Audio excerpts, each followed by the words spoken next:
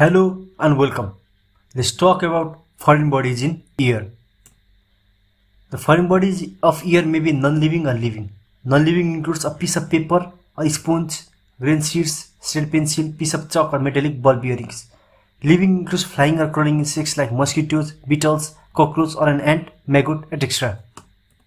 Treatment The methods of removing a foreign body includes forceps removal, syringing, suction, microscopic removal with special instruments, and post-aural approach. The soft and irregular foreign bodies like a piece of paper, swab, or a piece of sponge can be removed with fine crocodile forceps. Most of the seed grains and smooth objects can be removed with syringing. And in case of the living foreign body like insect, the insect should be killed by instilling oil, spirit or chloroform water. And once killed, the insect can be removed by any of the method said above.